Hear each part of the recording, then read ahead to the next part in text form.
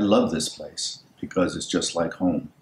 When Vicki comes here, I know that she's going to have fun, companionship, and when I pick her up, we go to the real home. Uh, this place is not all that much different. One more. Yeah!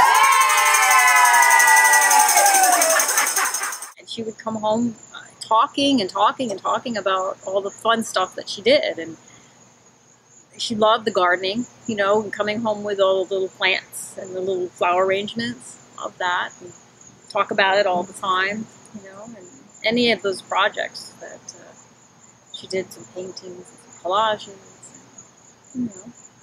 So it was good. It was good for her. It got to the point where I couldn't get her home. And she wanted to stay. So that was great.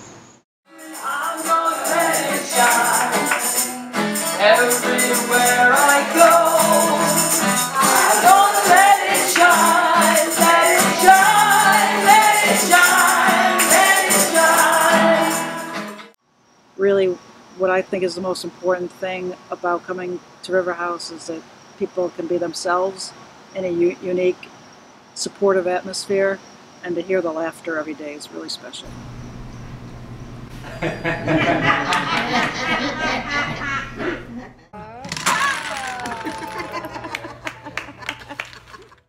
I, just think the, the personnel are really the, the reason why this place works so well.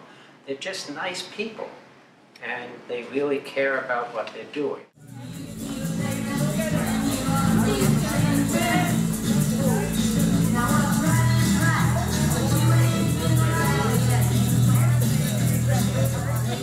And so I had a guest today. I, had a new person come. And I said, So, how was your day?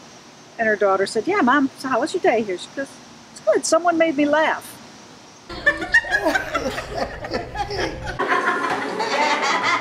Someone made me laugh. That could be a, that could be a special moment for that person. It says adult day center. Yeah, it helps all the adults. It's not just the the clients. You know, it, helps everyone. Godsend, absolute godsend. This place.